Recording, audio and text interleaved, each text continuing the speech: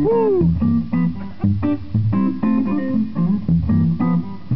know? Yeah.